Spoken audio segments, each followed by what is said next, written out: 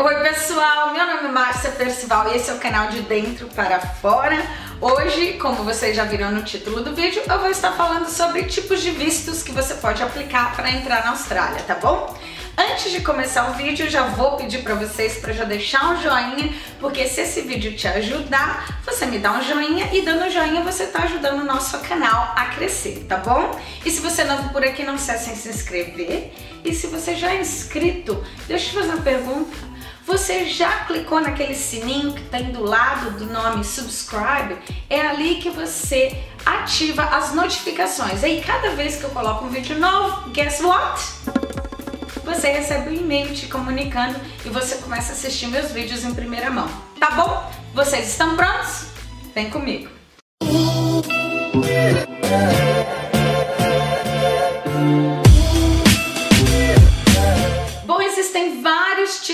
Vistos que você pode entrar na Austrália, tá? Alguns vistos bem complicados, bem complexos, com informações, então não vou estar falando desses, tá? Nós vamos estar falando de vistos bem básicos e no decorrer do canal você se inscreva aqui, porque sabe o que vai acontecer? Eu vou dar continuidade nesse vídeo e vou trazer pessoas que entendem de visto de imigração e elas vão estar explicando para vocês sobre os vistos mais complexos, tá? Não é o caso de hoje. Então, vamos lá. Você pode vir com visto de turista para entrar na Austrália, só que ele é um visto simplesmente para você turistar pelo país, tá? Você não tem direito a quase nada. Uma das coisas que você pode, enquanto você estiver com esse visto, você pode estudar mas você não pode trabalhar, tá? A razão que é muito importante falar desse visto, gente, é porque tem pessoas que ouvem histórias de pessoas que vão para outros países, Estados Unidos, Canadá, Europa com visto de turistas e chegam lá para morar. Eles vão já pensando em ficar definitivamente naquele país, mas vão com visto de turista, porque é um visto barato, é um visto fácil de entrar. Gente, não façam isso aqui para vir para a Austrália, tá? Tem muitos países da Europa e também os Estados Unidos que você é, consegue empregos sendo turista, tá? Tem muita gente legal lá, tem muito brasileiro legal lá. Não é o caso aqui na Austrália, tá? Já vou avisar. Se você vier com visto de turista, primeiro, as, as leis aqui são muito severas. A pessoa que é pega trabalhando como turista, ela é presa porque você está fazendo uma coisa ilegal, você estará cometendo um crime na Austrália. Então o que, que eles te fazem? Eles te colocam numa prisão de deportados, você é tratado como um criminal, tá? Então não deixe que isso aconteça com vocês, pelo amor de Deus. Outra coisa você vai ter muita dificuldade de arrumar emprego aqui na Austrália se você vier com visto de turista, porque a maioria das empresas não vão te contratar, tá? Até restaurantes, entregador de pizza, babá, essas coisas, eles não vão querer te dar emprego. Sabe por quê? Porque se você for pego, a pessoa que te contratou, ela paga uma multa altíssima. Então não é tão simples como nos outros países que vocês ouvem, as histórias que vocês ouvem. Então, esse vídeo é para informar, mas eu vou aproveitar e dar um conselho. Bom, e lá eu, né? Me metendo na vida de vocês. Não venha com visto de turista para tentar arrumar emprego e tudo mais, porque você está correndo um risco muito grande. Se você for deportado, você não pode mais voltar para a Austrália, tá? Nos próximos cinco anos. E tem uns, dependendo do caso, eles te é, proíbem totalmente de voltar para a Austrália. A outra coisa também que é muito ruim é que cada brasileiro que faz esse apego vai atrapalhando os brasileiros que estão aqui e os que estão no Brasil tentando vir. Por quê? A gente vai entrando numa lista negra de uma nação que não segue regras e que causa muitos problemas na imigração. Então, todos os problemas que qualquer brasileiro causa com imigração aqui vai sujando o nosso nome e vai piorando as condições para a gente ter mais facilidade de entrar na Austrália. Então, quanto mais besteira os brasileiros fazem, quanto mais brasileiro é preso, quanto mais brasileiro é deportado, quanto mais reclamação tem de brasileiro, mais eles vão todos os tipos de vistos para brasileiros, tá? Então, não compactue com pessoas que façam coisas erradas perante a vistos e leis de outro país. O segundo tipo de visto ele é ótimo, é o visto de estudante. Então, quem são as pessoas que deveriam vir com visto de estudante? São pessoas que pretendem estudar, claro, né, óbvio, inglês, mas também são pessoas que estão querendo viver na Austrália. Então, o visto de estudante, ele é um ótimo visto para você começar sua vida na Austrália, porque ele te dá direito a trabalhar e ele também é necessário porque se você não fala inglês, para você construir uma vida num país de língua inglesa, você vai ter que estudar, certo? Então, com o visto de estudante, você tem direito a trabalhar 20 horas por semana ou 40 horas em total em, a cada 15 dias, tá? E esse visto, você pode estar estudando e trabalhando e ao mesmo tempo criando raízes. Você vai conhecendo o país, você vai construindo um network de trabalho, de pessoas, de amigos, para você recomeçar uma vida aqui, tá? Se você quiser vir só para estudar, é esse o visto mesmo, né? Ou você vem com visto de turista, que você pode estudar, mas aí você não pode trabalhar.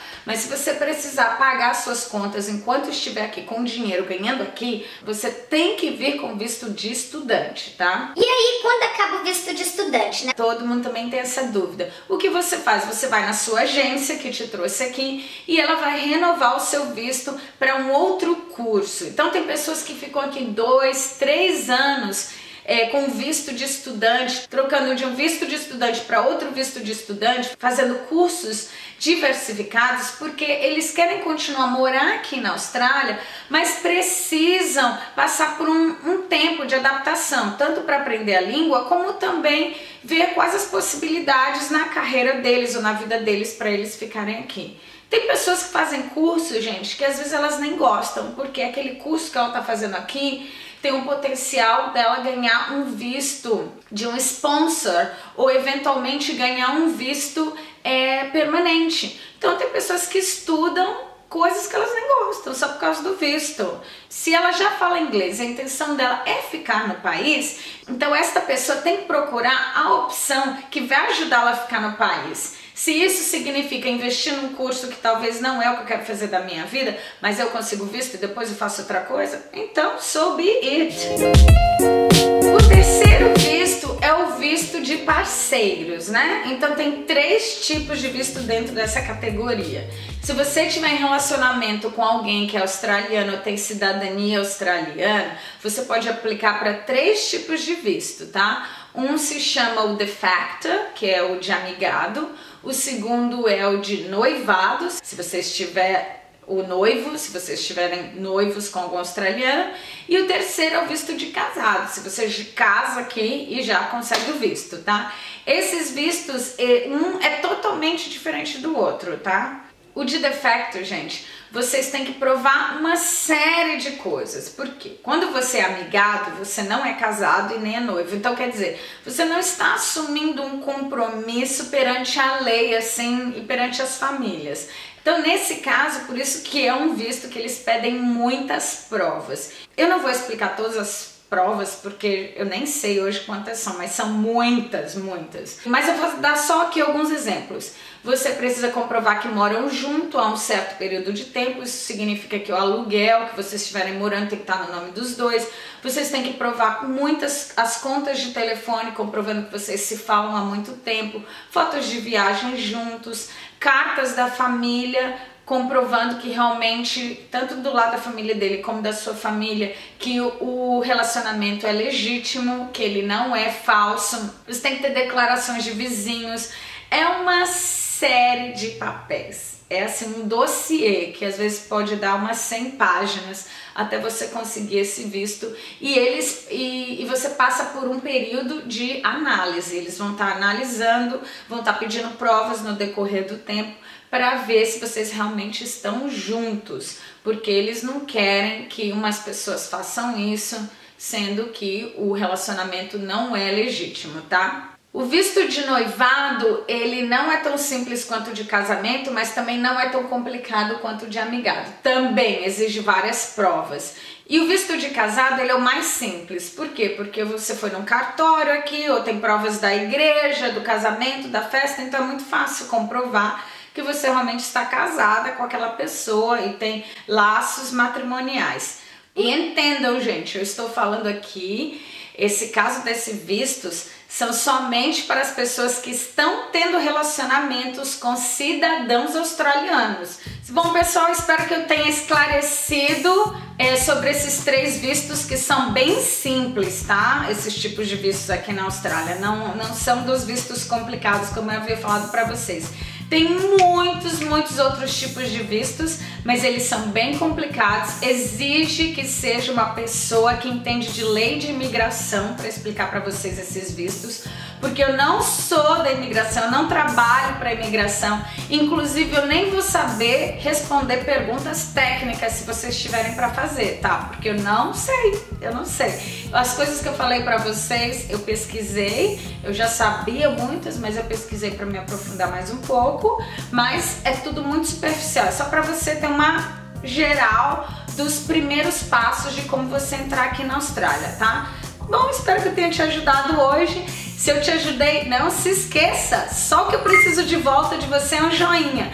Se você assim amou o vídeo mesmo, assim, nossa, eu precisava ver esse vídeo, que ótimo. Aí você tem que compartilhar. Só o like não é o suficiente. Não, você tem que botar esse vídeo lá na tua página do Facebook, coloca lá no Snapchat, põe lá no Instagram, avisa pros teus amigos, tag eles tudo lá pra mim, pra gente compartilhar esse vídeo e poder ter bastante like pra mim, tá bom? E não saia sem se inscrever se você for novo por aqui, tá bom, meus amores? Um beijo, fiquem com Deus. Tchau!